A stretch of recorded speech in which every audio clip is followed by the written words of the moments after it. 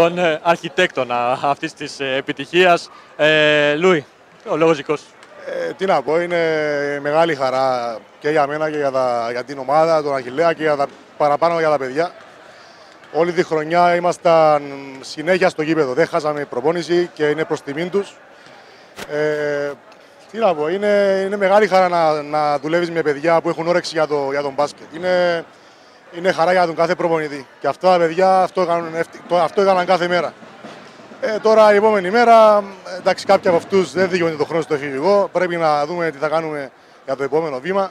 Ελπίζω να καταφέρω ο Αχιλέας να είναι στην πρώτη κατηγορία. Δεν ξέρω τι θα γίνει. Αλλά όπως και να έχει, κάποια παιδιά μπορούν και δικαιούνται να, να, να ονειρεύονται. Ωραία. Βλέπουμε πότε και από τα παιδιά που αγωνιστήκαν σήμερα, αρκετά από αυτά να αγωνίζονται και στην αντρική ομάδα που κατακτήσαν και το κύπελο. Έτσι. Είναι πολύ σημαντικό, εγώ πιστεύω αυτό. Ναι, είχαν, είχαν μεγάλες εμπειρίες από, αυτό το, από αυτές τις αγώνες του αντρικού. Ειδικά ο Γιώργος ο Τρεδιάκοφ που έπαιζε, έπαιζε καταλητικό ρόλο και στο αντρικό. Ε, σίγουρα οι εμπειρίες είναι τεράστιες, ακόμα και στη δεύτερη κατηγορία, όπως και να είναι. Ε, τέλος πάντων, ευχαριστούμε για όλα, για το, για το, για το βίντεο. για όλα. Να είστε καλά, να είστε καλά. Ευχαριστούμε πολύ. Και